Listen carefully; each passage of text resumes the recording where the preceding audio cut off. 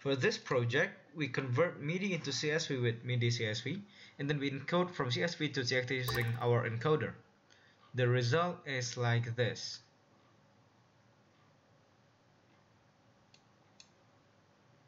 Okay, so this is the code for the Markov chain. The idea is to find the next successor of the current state. So here we have the class for the Markov chain. We have array list inside it. And then we have this one uh, for the output file. And then we also take an input. And then next, we also need to load the dictionary if it already exists. And then after we finish the program, and then we will update the dictionary